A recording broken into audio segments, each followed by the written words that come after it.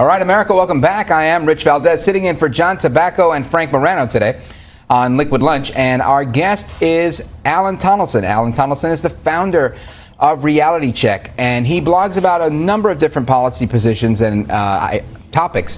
But the one that we're talking about right now is we're circling back to impeachment. I, my gut reaction, my, my initial response was there's no smoking gun. What is going on with the Democrats? Why are they hanging their hat on this phone call?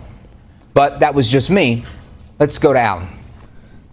Well, I was a Trump voter last election. I have no doubt I'll be a Trump voter this election. So keep that in mind when I say that I have a sneaking suspicion that the Democrats are now pushing impeachment because they're really not convinced they can win the general election any other way. Oh, hold on. So why would they be convinced they can't win? They have every every policy uh, is in their benefit, right? They've got the Green New Deal.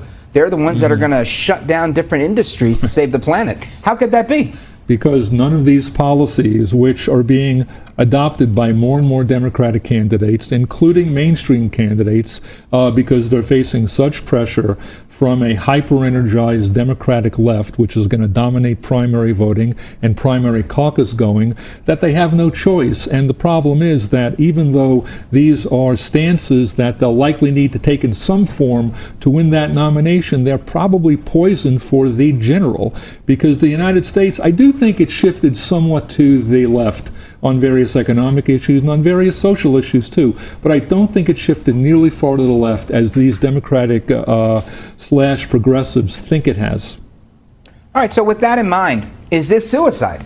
Are the Democrats playing suicide with 2020, or are they just um, mailing it in focused on 2024, maybe trying to push a Gavin Newsom. What are your thoughts? I don't think it's entirely suicidal because even Trump supporters have to acknowledge this is a president who pushes the bounds. This is a, a, a president who doesn't exactly have scrupulous respect for political norms and policy norms and possibly legal norms. He certainly plays it very fast and loose. And so there is a school of thought that I take seriously that Speaker Pelosi, in particular, who seems to be still in charge of this Democratic operation in the House of Representatives, thinks that the longer these various investigations last, the likelier that either a smoking gun is found, something close to it is found, or the cumulative impact of more and more discoveries of Trump trans of Trump's transgressions will finally register on the electorate and convince them that however much they might be in sync with him regarding policy, they're so exhausted from this endless torrent of scandal after scandal, controversy after controversy, that they want something more conventional. So, with that being said, if if it's not entirely suicidal for the mm-hmm. Democrats mm-hmm. to do this, then it means they, they think they've got a shot. They think they may have an opportunity to take out Trump uh, based on these ideas that are not even resonating well with with the electorate, with the people, with mm. even with part of their base. What is their play?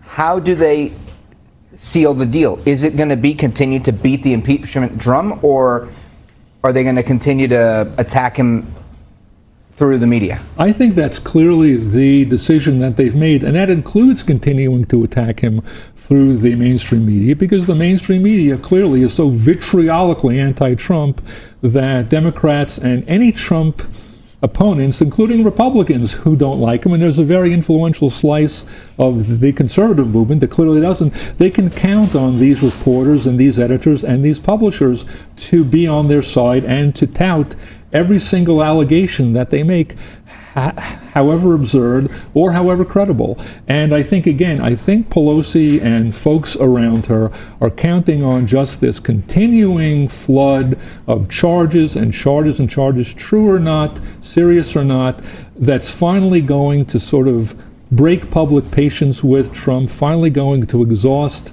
the the the public's acceptance of him and push them over the top. Just because something is not is is an action that's not suicidal doesn't mean it's a great bet.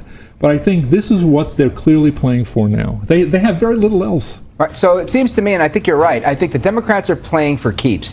They're trying to beat Trump at every angle. At every turn, they're Mm-hmm. trying to figure out a way to damage his credibility or make him look incompetent. That's their goal Mm-hmm. because they've realized that they, you know, political science, I think, teaches us Mm-hmm. that a president with a stable economy thus far hasn't been removed by the electorate. Mm-hmm. right. So now they're thinking, can we undo the will of the Right. people with this impeachment? And they're treating it much like a recall, like you would in a Mm-hmm. Right. state that has a recall election. And I think part of the um, what we talked about earlier is the uninformed voter uh, that's not an informed patriot.